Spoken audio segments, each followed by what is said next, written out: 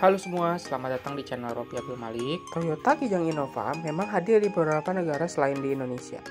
Mobil ini begitu diminati di berbagai negara dan salah satunya adalah India. Namun, menariknya, varian diesel di India harus diberhentikan sementara waktu untuk pemesanan unitnya. Jika dikutip dari Indiana Autoblog, mobil yang lebih dikenal dengan sebutan Innova Krista ini harus dihentikan sementara waktu untuk pemesanannya. Situs tersebut menyatakan bahwa hal ini dikarenakan terlalu tingginya permintaan Innova Krista diesel di India yang menyebabkan masa tunggu atau idin Innova Krista Diesel ini begitu lama. Namun tidak dijelaskan sampai kapan pemberhentian pemesanan Innova Krista Diesel ini.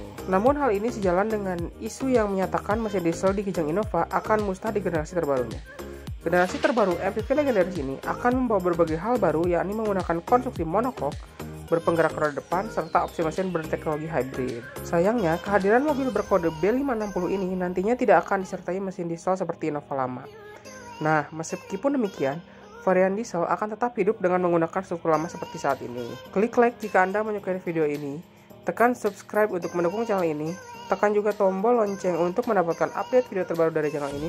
Terima kasih telah menonton.